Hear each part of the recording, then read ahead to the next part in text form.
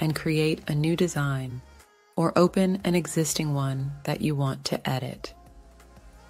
Now click on the image or element you want to crop. When cropping an image, simply drag the handles of the bounding box to adjust the crop. Once you're satisfied with the crop, click outside the bounding box.